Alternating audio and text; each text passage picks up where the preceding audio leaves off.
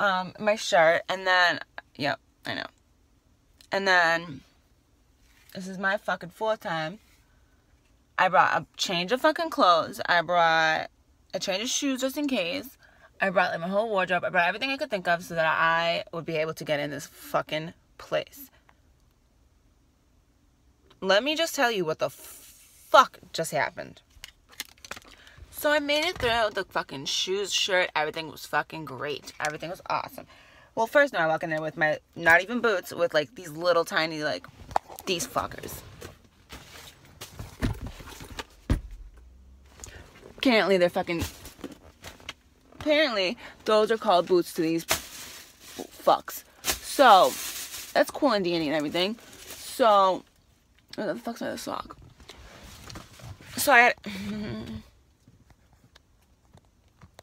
what the fuck?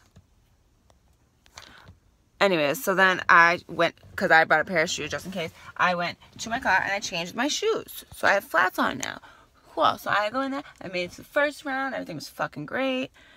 I went in, they were about to put me through the, um, where they, what is it called?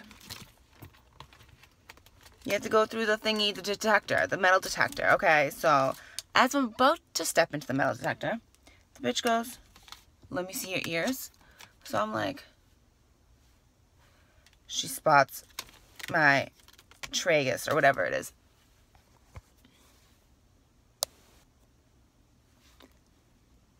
Yep, there was an ear in there. She spotted that fucker. She goes, did that come out? I said, no. I haven't gotten that out in over 10 years. I have no idea how to get it out. I wouldn't be able to get it out. Like, I'll try, obviously. She goes, all right, you have to take it out. I'm like, okay. So the kid next to me tried to take it out for me. Can't do it. Tries gloves. Can't do it. Now causes a scene in the waiting room. Can't do it. So I go in the bathroom. Can't fucking do it. Some other bitch tells me can't do it. Go into the bathroom. I mean, go to my car. Use tweezers. Sat in this car for 45 minutes to take that thing out. That little thing. The ball is so little. 45 minutes. Finally comes off. Comes off at 7.57. That's three minutes before you're allowed to go in there for the last visit. I walk up in there, and the bitch goes, it's 8 o'clock. I said, ma'am, it's 7.57, please. Do you know what I just had to do to get in there? I literally just went out in the car for 45 minutes to take that ball out for you. Okay, this is my fourth time driving here. Please, please, please let me in that fucking place. So as she's waiting for the whatever, the sergeant to come out and okay it, which she already did, some fucking guy sergeant comes up to me and he goes, ma'am, who are you here to see? And I said, Derek Burton. Why?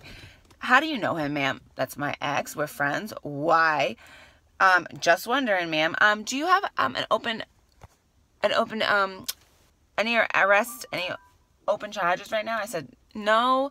Kept questioning me and he goes, well, I had to come out here because they called me down here because you were kind of making a scene, kind of jittery. Are you on drugs, man? Do you have a substance abuse problem?